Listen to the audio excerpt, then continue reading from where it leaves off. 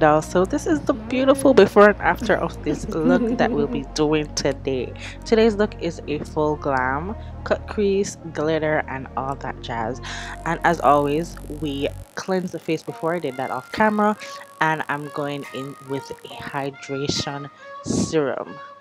And I'm blowing that and hydrating the skin because it's an important step in the, the game that we call makeup because we want our makeup to last long. So your skin needs to be hydrated supple. For those that are oily it will help keep some of the oil away because sometimes y'all are not really oily y'all are just not hydrated. So your skin needs that hydration. Next step we're getting into that i'm doing i'm gluing the brows down not with actual glue but it's like the lamination of the brows with um, a glue like substance and it's giving the hair like stroke that we need before we fill them in. So I'm just doing that with the product. I remember the product is named right now but it is very very what you can use or what i would suggest because i've used that before is the Got2b glue. That's a good one. The nyx oh yeah the nyx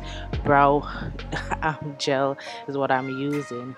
Next we're getting into the brows. Nothing special with the brow pencil because you really don't need a special pencil. You just need something that is not too waxy or not too dry that will glide on very nice and easy to the brows. And what i tend to do with brows is i create a shape first and then I fill it in lightly.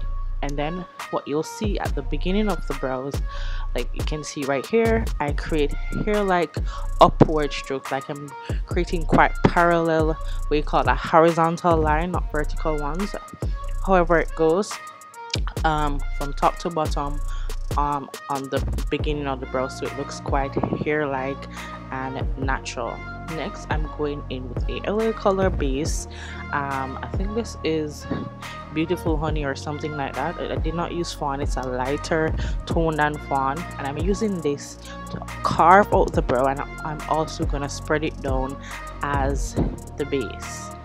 Spread it down a little and then um, blend it out with my black base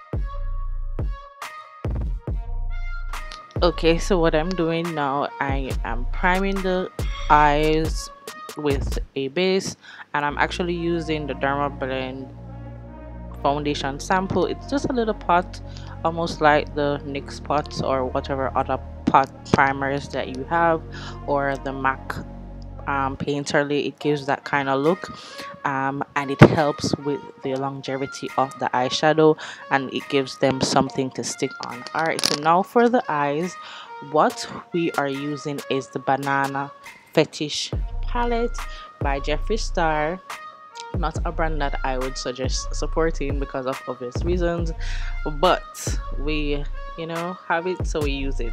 So the first color that you see me dipping in is size queen and this palette has some very very explicit names. So yeah but it's a light orangey slight orangey brown shade and I'm putting that all in the crease and I'm gonna use it as the first transition color and it's giving a very nice blended look and stuff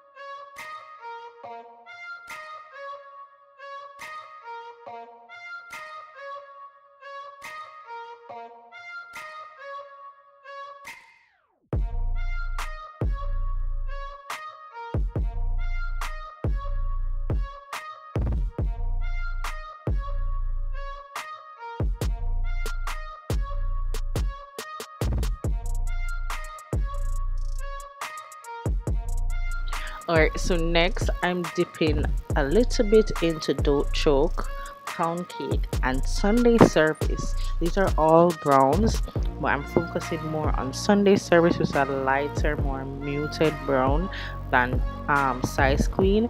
And then don't choke is a darker that darkest shade that you see at the bottom of the palette.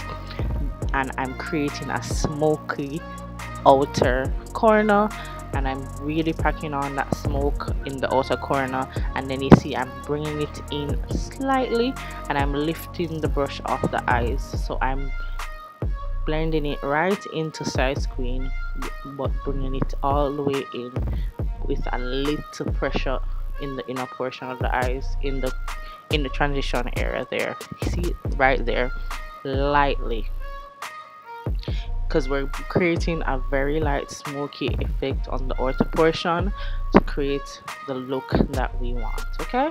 Yeah.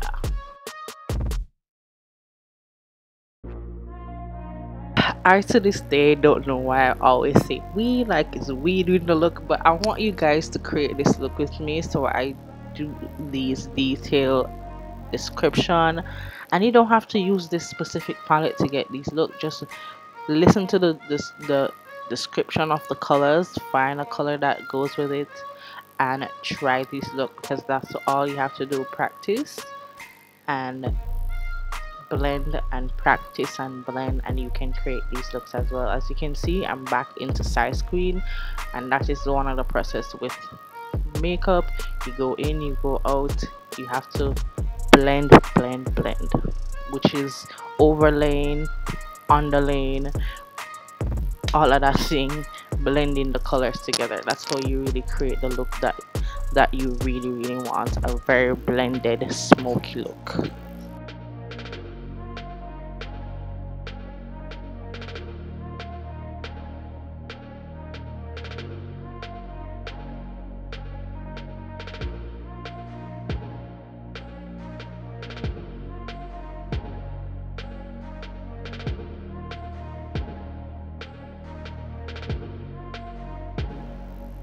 So now we're getting into the cut crease, the detail cut crease. So what I'm using is a very flat concealer brush and I typically before off the camera squeeze the product into it and flatten out the, the ends of the brush and I'm using the Derma Blend sample pot sample pot again and I'm taking my time. This is sped up twice like 200% so it's very fast. So you guys can see um that I'm really taking my time because this looks like I'm doing something very normal. But I'm taking my time and I'm carving out the cut crease. Alright so now we're going back in with a little bit of size queen to blend into that cut crease that we placed because we we brought the color all over the eyes after we cut the crease. And make a blank canvas. So what I'm doing here is creating a slight uh, what you call it smoky liner with the shadows that we put in the in the transition and then bringing it darker. So first we I went in with size queen and this is what I'm using and you can see here I'm using the fluffiest brush that I'm going to be using because it's the biggest brush that I'm using. And I'm connecting it back to the the crease and bringing it down into the waterline. And here I think yeah this is where I went a little bit darker and I went into pound cake which is a dark dark and neutral brown. It's not as dark as um don't choke but it's dark as well and this is a smaller brush. You can see the fluffy brushes in my other hand. And it's a smaller um, um, fluffy brush that I'm using sweeping it right into the eye the, the lash line and creating that smoky liner. Here again still working with that pound cake because I'm creating the blend. And then here I am going in with the uh, shimmer on the look on the the eyes and I'm using Never Bitten. It's a gold. All these shades are yellow undertone but the shimmers come off different on different skin tones. So for example, this one looks quite yellow, gold, in different shift and I love it I love the quality of these products but the ethics of the, the brand is not really up there so I will not recommend the product because of the brand but we ain't getting into that because we're not into the polit politics. Um, but yeah I'm using a flat eyeshadow brush well not a flat but an eyeshadow brush to pack that into the on the eyelid on the plate the, the area that we cut the crease and I'm taking my time doing this so that we don't overlap on the cut crease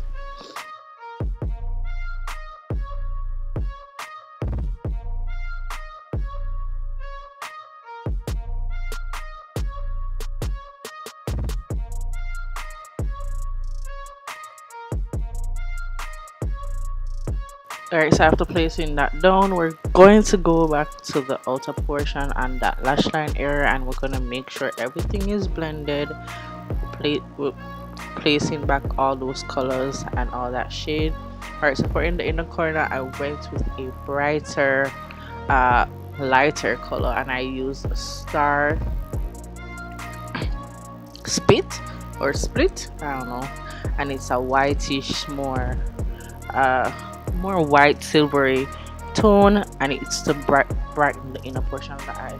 Here i'm going in with the elf uh, power grip primer and i'm priming her face because we're going into the foundation base giving the eyes a little rest and moving along with the, the foundation process next i'm using i'm actually using her foundation here so i can't tell you what it is because i don't recall. This has been a long time ago because i've been delaying editing videos. I have been giving myself a break. Life was lifing as you can see it's been a while. Um but yeah foundation you know me. It will look like this but it's definitely gonna match her chest. And here i'm going in with the elf foundation stick. I hate when people call this contour stick because it's not a contour it's actually foundation. Not because it's deep or neutral doesn't mean that it's not foundation.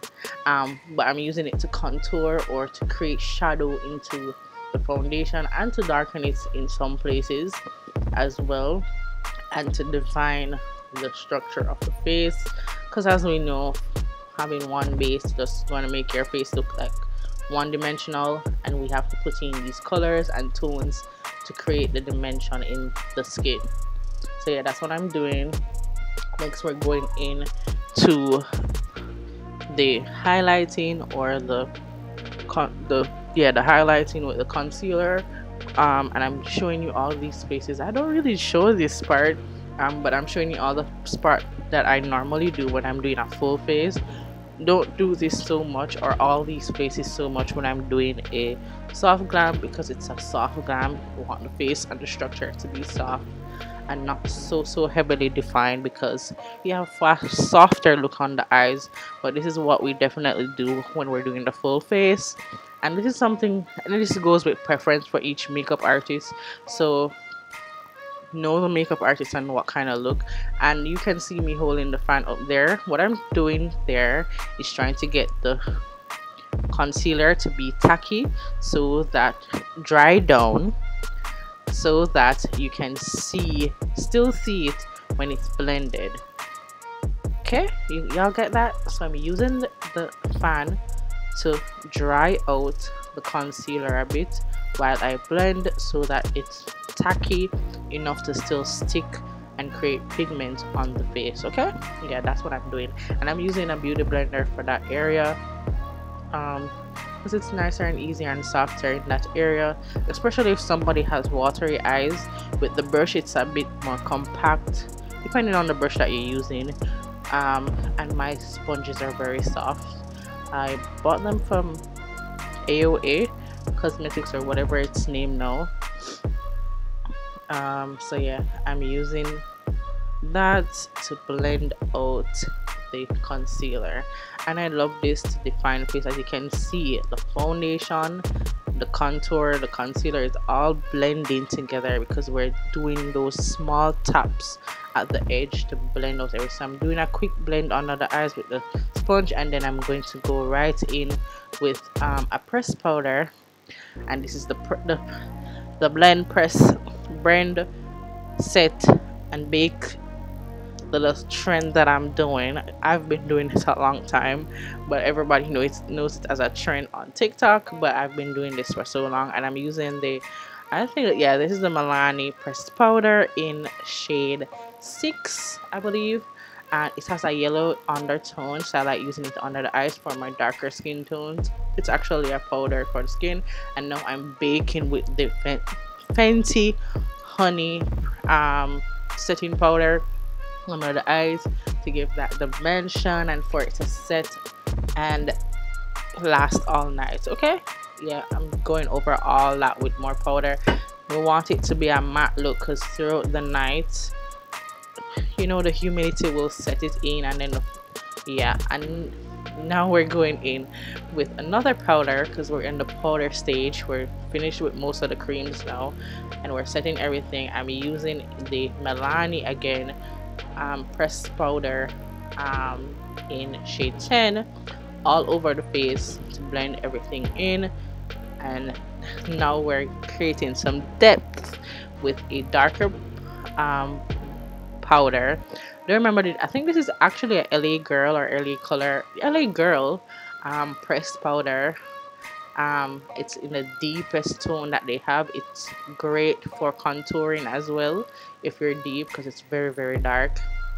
And I'm using that on the outer area and blending everything the contours the the yeah I'm creating shape and definition with this powder and all that jazz Alright, so it's time to bring some color to the face and I'm using, again, Milani. Milani is definitely a great drugstore brand. It's the higher end of drugstore to me um, because their packaging is impeccable. That gold, black, sleek look, I love it.